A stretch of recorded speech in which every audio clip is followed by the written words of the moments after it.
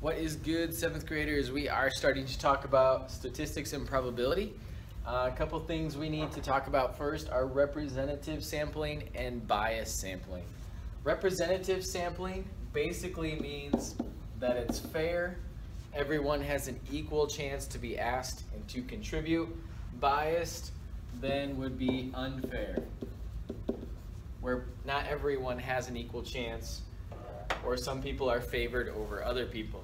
So a representative sample, for example, if we wanted to figure out the favorite color of seventh graders, we could put everyone's names in a hat and pull out 10 names and ask those people. Everyone would have an equal and fair chance of being one of the names that's pulled out of the hat. Or we could put everybody's names in alphabetical order and then pick every third person on the list everyone again would have equal chance of being asked.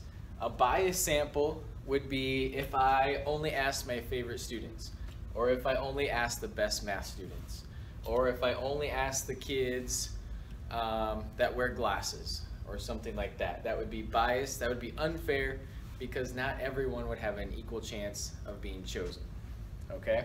So there's no formulas or anything yet, but we just have to be thinking about what would be what kind of sampling would be fair where everyone has an equal chance of participation? That's called representative sampling.